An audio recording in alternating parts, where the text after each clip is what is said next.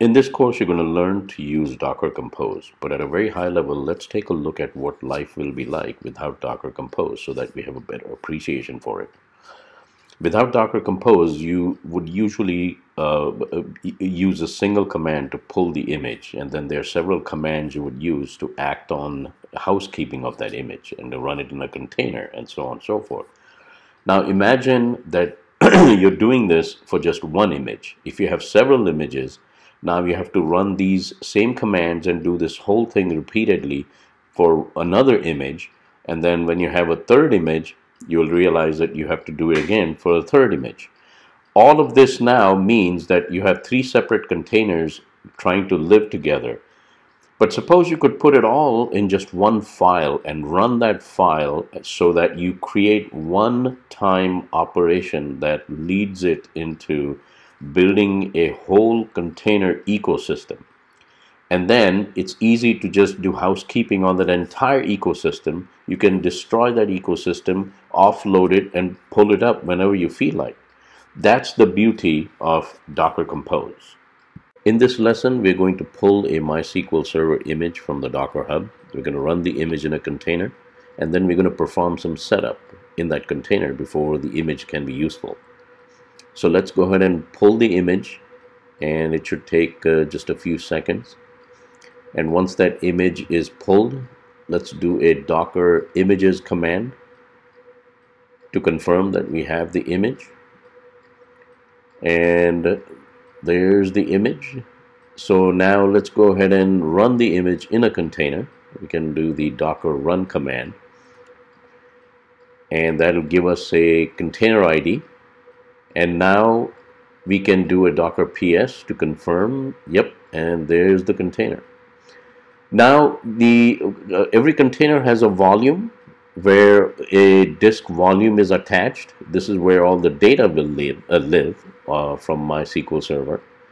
So if we do a docker volume ls there it is. We actually have a default uh, disk now what we need to do is go inside the container and uh, uh, log in as root in MySQL. Now in order to do that we need to go to the logs to pick up a generated password that was created just now.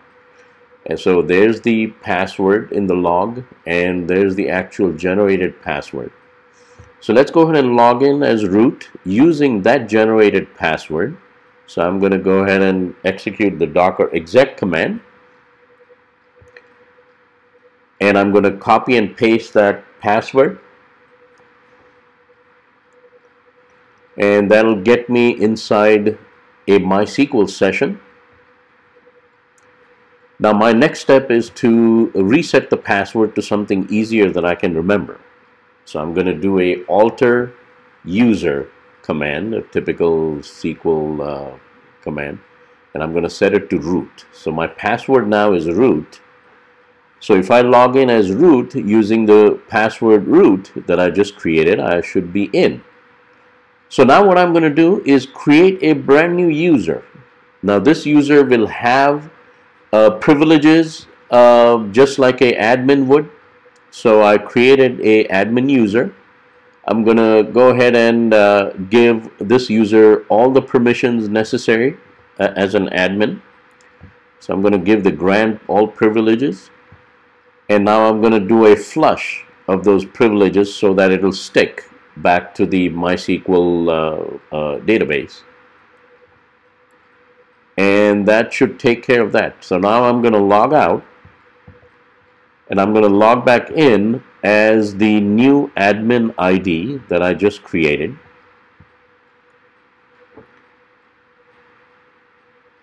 And that'll get me inside the MySQL session. Now I'm going to take a look at all the databases that are out there. I'm going to go ahead and create one called MyDB. So let's go ahead and create the database. There you go.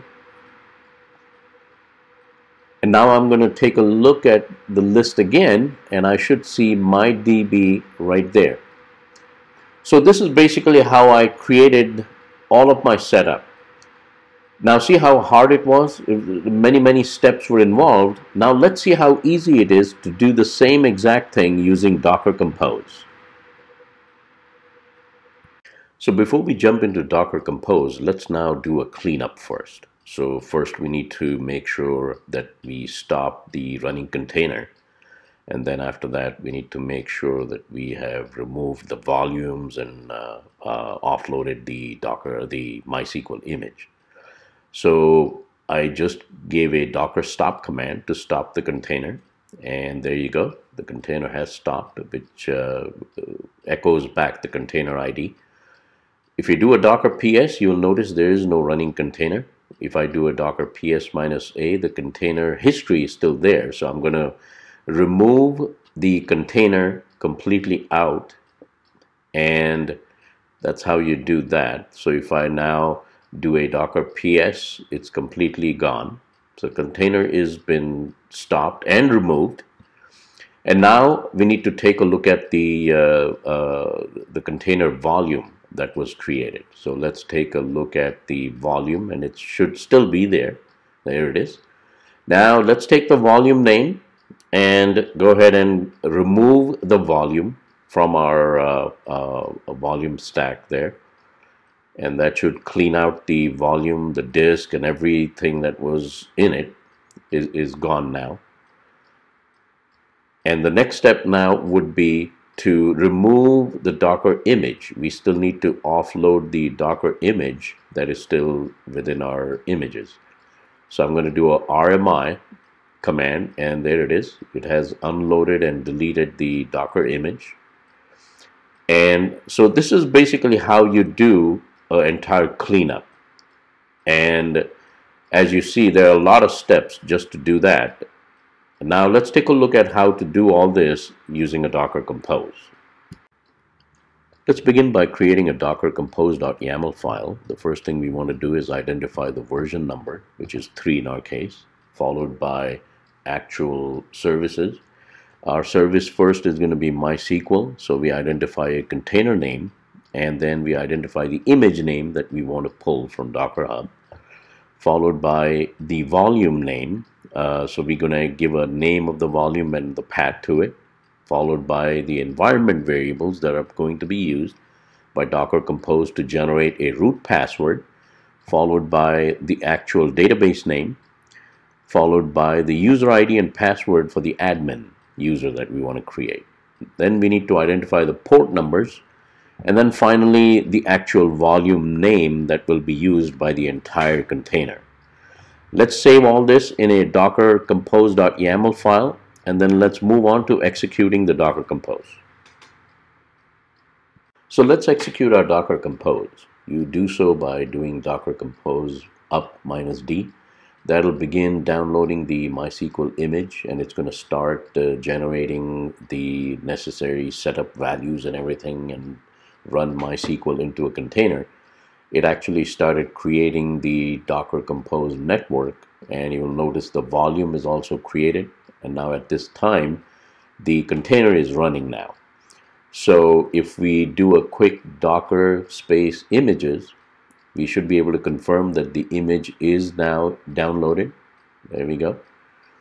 And if you do a Docker PS, eh, you can see that the container is up and running right there.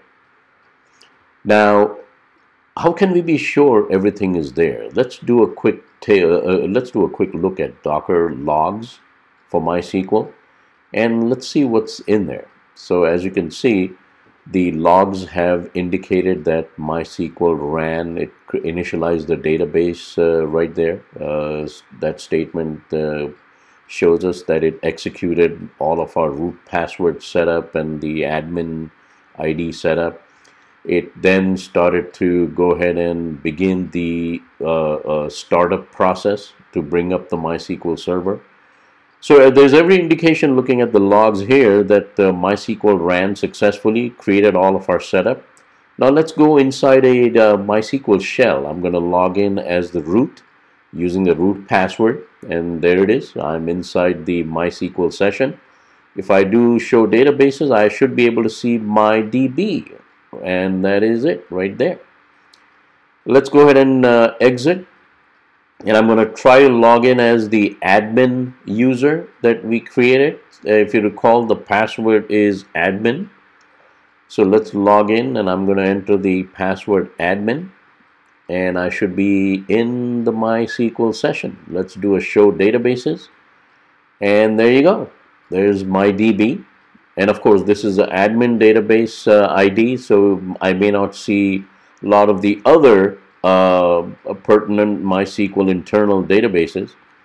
So I'm going to go ahead and exit and now let's take a look at the volume. We created a volume with the name db uh, hyphen data and there it is. It created our volume uh, and this is a very easily readable volume name compared to the large generated one that we saw in the last lesson.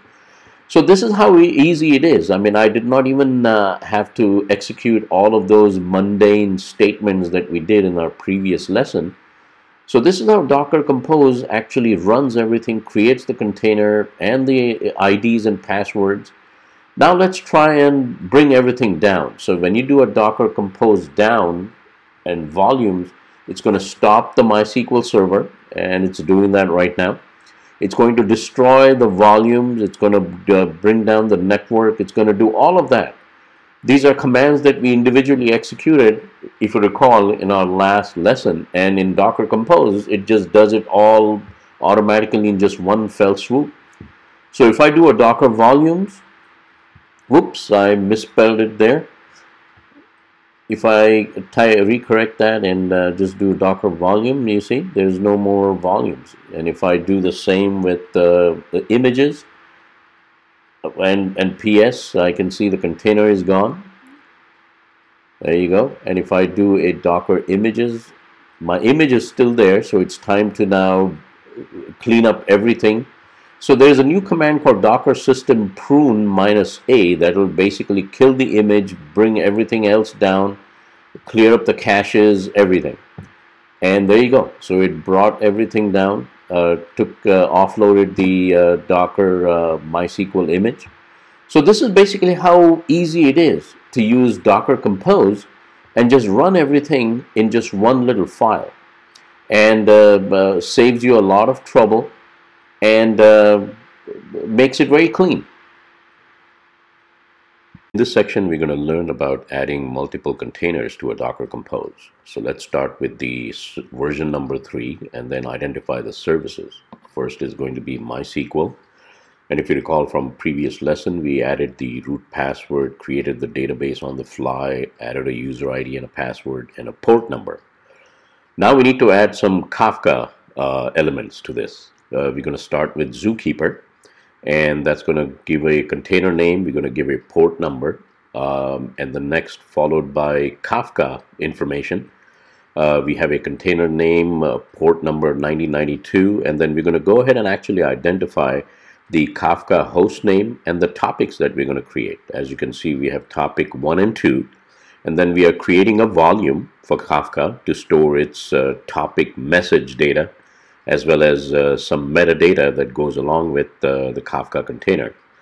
We're going to create a Docker Compose YAML out of this, and then we're going to execute it to create our containers.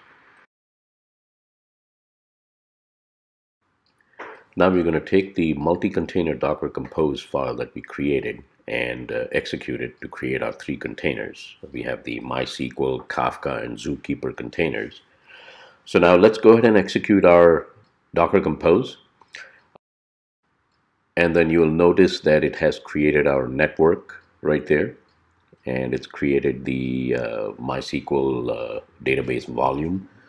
It's now pulling the MySQL image from Docker Hub. And now it's pulling the Zookeeper image. Uh, you'll notice uh, we are pulling the Wurstmeister Zookeeper image from Docker Hub.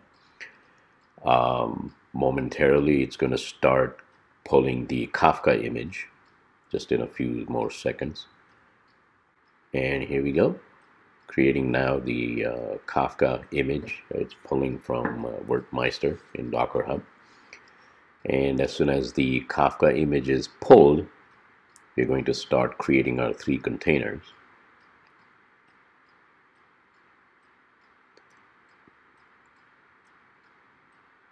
There we go. We are creating the Zookeeper, MySQL, and Kafka containers right there. as you can see. And now we need to do a Docker images command to make sure that uh, the three images are pulled. So let's confirm that. And there they are. Got the MySQL, the Kafka, and Zookeeper image. Now let's try and uh, take a peek at the uh, containers. Make sure they're running fine. And there's our Kafka image right there, followed by Zookeeper and MySQL. They all seem to be running just fine. And now let's take a look at uh, let, us gain access into the MySQL container. We're going to log in as the admin user with uh, the password is admin if you recall from the Docker Compose. And here we are. We are inside the MySQL session. Let's take a look at the databases and there's the MyDB database that we created. And now if we exit out of there and let's take a look at the volumes that have been created. Uh, there should be volumes created for all three containers. These are the Kafka, Zookeeper, and MySQL volumes. The MySQL volume is clearly labeled right there. The other three are the Kafka and Zookeeper volumes. Uh, you'll notice they're not as clearly labeled as the MySQL, but uh, that's what they are. They are the Zookeeper and Kafka volumes. If we take a look at the MySQL container logs, we will see that the process is in action where it actually starts creating the database with user IDs and passwords and uh, uh, the actual uh, database itself. So if you look at that right there on the logs, it says it's finished the initialization process and the engine is now starting up. But if we scroll up a little bit, that's where you'll notice right there it says database has been initialized now this is where it created all your user IDs and passwords and the database. And now finally the MySQL container engine is up now. And this is how we create the MySQL database. Take a look at our Kafka container. I've broken up this terminal window into three tabs. The first tab is where commands will be executed. The second tab is where the producer will produce messages. And the third tab is where we'll consume those messages. Now this is based on the two topics that we created. But for our demo here, we are just going to be using topic one. So let's take a look at our images. Make sure we have uh, Kafka images. There you go. Uh, we got the Kafka and the Zookeeper image still there. Let's uh, do a quick uh, check on our containers. Make sure they're running. And there's the Kafka container and the Zookeeper container. Now let's take a look at um, the volumes that uh, currently exist out there. We should see the the three volumes for the Zookeeper, Kafka, and the topics, and then a third volume is the uh, MySQL database that you see there. So the first three unnamed volumes are the Kafka volumes. So now let's go ahead and get inside the zookeeper uh, and take a look at the topics that we have created. So we're going to examine the zookeeper container and list the topics and there you go. We have two topics uh, that we created from our Docker Compose. And now we're going to take a look at the producer. Now why don't we go ahead and uh, execute the producer. So let's go ahead and activate the producer and then the consumer will echo back the message that it will pick up from the topic. So if you go back to the producer tab and let's go ahead and hit the enter key. Let's go to the consumer tab and hit the enter key there. So now the producer is ready to produce. So let's post a message, hello there.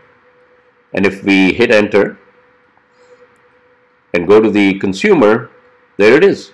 The message is uh, seen right there. If we go back to producer and put something else like how are you? And we go to the uh, consumer right after we should be able to see the message right there. How are you? So this is basically how the producer and consumer uh, actions are occurring on our uh, Kafka container. Now, if we take a quick uh, look at the logs, for instance, so if we look at the uh, Zookeeper log first, and uh, uh, let's take a look at the Kafka log first and uh, you can see the uh, log is displaying various topic settings it's setting up the offsets it's loading the offsets and the group metadata so this indicates that your Kafka topics are being set up and the Kafka engine is running now if we look similarly in the Zookeeper logs, you're going to see similar setup being uh, displayed in the logs. It's uh, running all the Zookeeper uh, session uh, properties and it's activating our Zookeeper sessions for each of the topics. And if you go up there, uh, you can see all of the environment uh, setup that's that's occurring. So this is how the Zookeeper is creating its environment and getting the container ready. so this is basically how the Kafka container is, is running and, and being loaded in our Docker Compose. Now that we have explored the MySQL, Kafka, and Zookeeper containers, let's uh, start examining the process of shutting down the containers and offload the images. Before we do that, let's do a quick check on our producer and consumer, and they seem to be still running. Let's do a docker ps to examine our containers and they're still up and running which is good. Let's uh, take a close look at our uh, volumes. So let's check, uh, type in the command docker volume to see what disk volumes are still out there. And we have our three disks for the Kafka Zookeeper and the topics, and of course the fourth one for MySQL. Now let's go ahead and issue the docker compose down command to bring down the containers and destroy the volumes. So let's go ahead and execute that. And as you can see, it's stopping the MySQL, Kafka, and Zookeeper containers. And pretty soon it's going to start offloading and destroying the networks. See, it's removing our uh, containers from the stack. It's uh, removing our network that it had created in the Docker Compose and the volume it got rid of. So now, if we take a look at our uh, volumes, uh, we should see nothing. And if we go and take a look at our containers they're gone. They have been shut down. My producer has stopped this uh, producing. As you can see it has completely shut down. If we look at the consumer that has completely stopped listening to anything in the topic and that has shut down and now let's take a look at our images. Our images are probably still out there. There's the MySQL server the Kafka and Zookeeper. So what we want to do now is to stop the images and offload them by doing the system prune command and just respond Y. And there it is. All the images have been uh, offloaded. There's the MySQL image then uh, you'll see the Zookeeper has been offloaded and deleted and if you scroll down and look at Kafka image has been offloaded and destroyed and if you really look, it took about 1.307 gigabytes of disk space to run all three containers. So now if I do a Docker images, I should be seeing nothing. So this is basically how you do multi-container Docker Compose. Let's look at an application ecosystem that uh, could be created through a Docker Compose that will be true to real life what we have here is a Kafka server with a topic. In the middle, we have a Spring Boot microservice. Let's call it test app. and then in the back we have a MySQL Server database. Now there are two entry points into the application. The one entry point comes through as a message payload into the Kafka topic. Another entry point would be a similar payload coming in through a REST API exposed by the Spring Boot microservice. So if we get a payload through the Kafka topic, that would then get consumed by the Spring Boot uh, microservice uh, as a consumer. And then the Spring Boot microservice will then send that payload to the backend database. So this is one pathway. Another is the REST API. So if the same kind of payload comes through a REST API, goes into and consumed by the Spring Boot microservice, which is then uh, sent to the database. So now you have these two entry points, the Kafka message and the RESTful endpoint. Um, so these are the two ways that uh, our Spring Boot microservice will uh, populate the database. Now this is very true to life. So let's figure out how we can put this all into a Docker Compose and actually see this in action.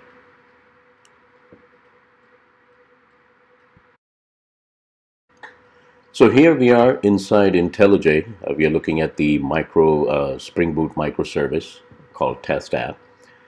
And if we uh, examine the uh, microservice closely, it's a Gradle project. And uh, this is what the uh, source code structure looks like. It's a typical of a Spring Boot microservice. And then this is what the application YAML file looks like. nothing unusual about it typical uh, parameters. And uh, if we look closely at the Docker file, uh, I've already set up the Docker file uh, to basically take the compiled jar from the build directory, as usually happens, and then it's going to pick up the uh, application YAML file that we looked at earlier, and it's going to take the jar file and the application YAML and copy it into the image. Uh, I have the wait for it shell script that will uh, delay the loading of uh, the Spring Boot microservice uh, because it takes a long time for MySQL to start up. So it's going to stop for a while and wait for MySQL to load up and then it'll uh, uh, proceed to starting the Spring Boot microservice. So if we look at the Docker Compose file, uh, you will notice the typical, uh, we use version 3.0 and then we define our services. Just as before, we have our typical MySQL uh, service defined with the image and container name. We have defined our database and our uh, uh, user IDs. We doing the same thing with the Zookeeper and Kafka. we are going to be creating uh, two topics and uh, then we are going to declare our Spring Boot microservice right there. And uh, we're going to call it test app as our container. And it's going to build an image with the jar file that we just uh, declared in the docker file uh, that you saw just a few moments ago. It's going to use that uh, jar file and the application YAML to build up the test app image. Uh, the microservice will run on port 8080 and we are going to depend on these services to start up, uh, MySQL, Kafka, and Zookeeper. So we are declaring our app name, the database uh, information that will be picked up by the YAML file and it's all that uh, root password and user ID and so on and so forth that we declared up there. We do use Liquibase in this project, which is a uh, course that I uh, teach uh, uh, separately. Uh, we use Liquibase for schema migration. those are the topics, and that's our Bootstrap Kafka server. And this is the command we execute to purposely delay the loading of the Spring Boot microservice. It's going to wait for MySQL to start up and that's what that command is for. So it's going to keep on polling MySQL on that port number until it's up. And that's roughly probably takes about 30 seconds. And then it's going to execute the uh, app.jar. And that's going to load up our Spring Boot microservice. So this uh, basically is what the uh, Docker Compose looks like. Um, not much different than what you have seen before, except for the Spring Boot microservice. Now, if we look at IntelliJ provides a nice little environment, the GUI environment, where we can actually see the Docker Compose containers uh, that are loaded. So if we examine our Docker Compose, I've already run it because it does take a little bit. So there's our networking, there's our uh, Wurstmeister, Kafka, and Zookeeper images have been loaded into a container, and that's our test app right there. Uh, and there's all the steps that were taken to execute the Docker file contents to create the image and then uh, load it as a container. So now we have all these containers ready, loaded, and set to go. So let's take a look quickly at the Kafka logs and uh, you'll notice the Kafka logs are usually very verbose, uh, a lot of information there. Uh, what I'm looking for is our two uh, topics uh, that we asked the Docker Compose to help create. And uh, the topic one and topic two are right there. It's uh, created the two topics for us right there. So those topics are up and running. Uh, same with MySQL. We created our database. It got initialized with all of the database creation steps that we had identified in uh, the Docker Compose.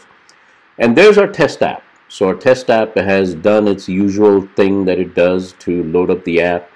Uh, it also creates a connection since it is a consumer on topic one of the Kafka server, there it is. It's uh, created a connection to the appropriate topic right there. And finally, the Spring microservice started. So now it's ready to go. So all the all the containers are up and uh, ready to take uh, uh any traffic. So let's uh, take a close look at uh, what we're going to do now is take the first route. If you recall the PowerPoint, we are going to now send a, a user uh, add request to the Kafka topic one that we had created right there. And this is going to be the producer that actually creates the request to create the user uh, user uh, record.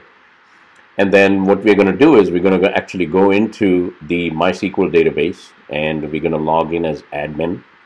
The password is also admin. And uh, we're going to take a look at uh, the MyDB database. And there it is. It's created when the Spring Boot microservice started. So let's uh, go into MyDB. And uh, we are looking for a table called user. So in our exercise here, we are going to try to populate a record in the user table. So currently, there's probably nothing in the user table right now. So if we run a quick query on the table, you will see that there is absolutely nothing in there. So what we plan, plan to do is we plan to send a payload to the topic one message uh, requesting for a user to be uh, created. And if you recall the PowerPoint, uh, it's going to actually uh, enable the uh, test app microservice to consume that topic and evidently it's going to take in and consume the message which is the actual uh, payload to create the user. So here I am creating the payload. It's a simple JSON. Uh, it's looking for just two elements in the payload just a name and an email address. And it's going to actually auto generate the ID because uh, we had set that up in the microservice. So if I uh, hit the enter key, it's going to create a record with name Sean Connery and uh, it's going to create an email address uh, in the database called sconnery at 007.com. A little bit uh, of pun intended there. So now let's go into the database and see if the uh, record actually exists now. And there it is. We just created it. The ID is set to 1. Name Sean Connery. Email sconnery at 007.com. So this is how the uh, the first flow through the uh, uh, Kafka topic will flow. Now let's try adding a user using the RESTful API route.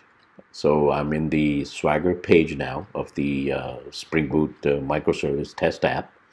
And I'm going to open up user controller. As you can see, there's a post and a get. We need to go to the post to add a user. So let's go into the post and uh, I'm gonna, it, it's asking for a email address and a name. So let's go ahead and put in an email address. This time, let's go for another James Bond character, uh, Roger Moore at universalexports.com. And for the name, we're to put in uh, Roger Moore. And uh, once we have done that, if we just click on the execute uh, button, the response back clearly says uh, Roger Moore has been added so now if we go to the database and uh, run ourselves a quick query on the user table, we'll, we should be able to see Roger Moore added. And there it is. There's Roger Moore right there. So this is how the RESTful endpoint is, uh, is going to do uh, adding of a user. Uh, if I change now, let's let's try another user. If I change now to a, a, comedian I'm I've been very fond of, the late Robin Williams, at comedy.com, and let's change the name to Robin Williams, and uh, hit the uh, execute button. I should be able to see another response saying that Robin Williams has been added, and there it is. Once again, if we go back to the database and run a quick query, we should see Robin Williams. So as you can see, each time it incremented the ID value uh, automatically. So now if I go to the get method, there is a get method which will return all of the records that are in the database. So if I go into get, and uh, let's try this one out and if I click on execute it's going to basically list all of these rows that are in the database that we put in so far. And that's what's going to be returned as a JSON payload. So if we look there there we go. That's the response that we got back from the RESTful endpoint shows all three rows that were put into the database so this is how uh, the uh, RESTful endpoint uh, flow works. Uh, shows you uh, uh, a get and a post to display what's in the database. IntelliJ provides an excellent interface to work with Docker Compose. So let's take a look at our current Docker Compose and we can uh, use this user interface to actually uh, bring down our images and our containers. But before we do that, let's make sure our containers are still up and running and uh, they seem to be. Uh, so that's good. So let's go back to our Docker Compose. And uh, if we click on that uh, red stop button right there, that will begin the Docker uh, compose process should stop all the containers. And momentarily we are going to start seeing uh, the containers stopping. And uh, if we further go down and look at that down button and if we click that that will actually bring down the the volumes and the network and, and everything similar to how we used to manually do docker compose down so if we do a docker ps uh, there's no containers left anymore and if we do a quick uh, images list. We still have our images out there. Let's take a quick look at uh, our volumes. They should be gone by now. So let's take a listing of our volumes and yep, they're gone. So now let's do a Docker total cleanup, uh, the Docker system prune minus A. And that should uh, shut down and offload all of the images. So there's our uh, test app, the microservice, uh, Spring Boot microservice, and then the Zookeeper image is offloaded, uh, followed by SQL Server and Kafka down below. And then you'll notice finally the OpenJDK image is also taken down. Uh, curiously, all of that took 1.99 gigabytes of space. Uh, that's that's uh, not bad. All these services running with uh, just that much. So that's basically how you use Docker Compose to run an entire application ecosystem. Uh, pretty cool stuff. All that in just a little Docker Compose file. So thanks for watching.